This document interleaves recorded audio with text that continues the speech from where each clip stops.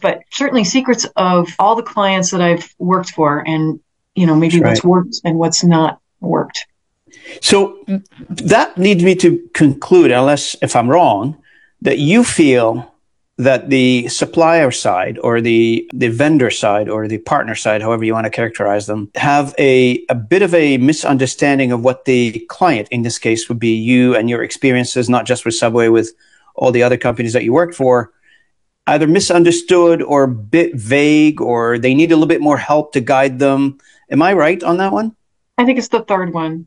Maybe just a little more help to guide them. What I found is networking is just a huge proponent of being successful. And I don't care if it's on the partner side or the, the buyer side, but that's, that's a huge part of it. And just getting to know the needs of a, a client